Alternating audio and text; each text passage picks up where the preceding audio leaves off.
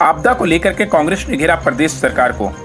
मंगलवार को उत्तराखंड कांग्रेस कमेटी के कार्यकारिणी प्रदेश अध्यक्ष एवं पूर्व विधायक रंजीत सिंह रावत ने कांग्रेस कार्यालय में आयोजित पत्रकार वार्ता में कहा कि 18 उन्नीस अक्टूबर को आई भीषण आपदा ने पूरे कुमाऊं में जमकर तबाही मचाई थी, जिसमें रामनगर क्षेत्र के कुछ गाँव भी इससे प्रभावित हुए थे।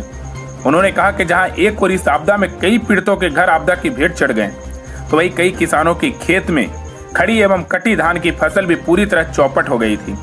उन्होंने कहा कि आज किसान जब अपना धान कांटे पर तुलने जा रहे थे तो उनका धान नहीं तोला जा रहा है, क्योंकि पानी के कारण धान में नमी आ गई है।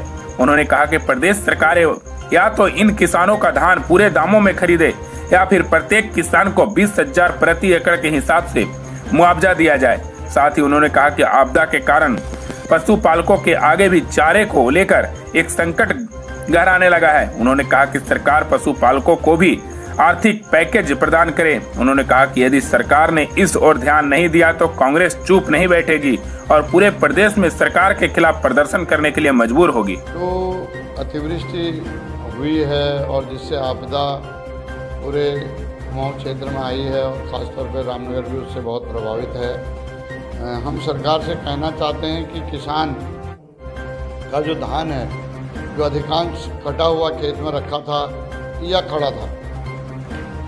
उसके ऊपर से बाढ़ का पानी चल चुका है, धान काला पड़ चुका है और कांटे वाले उसको खरीद नहीं रहे या तो सरकार उसको खरीदे, पूरे रेट पर खरीदे और सबका खरीदे और या फिर बीस हज़ार रुपया प्रति एकड़ के हिसाब से किसानों को जो है धान की फ़सल का मुआवजा दे। क्योंकि और उसके साथ साथ जो धान का पुराल है वो भी सड़ गया। पशु पालक जो हैं, उनके सामने चारे का संकट पैदा हो गया है। अगला भूसा आने तक, यानी गेहूँ की फ़सल आने तक।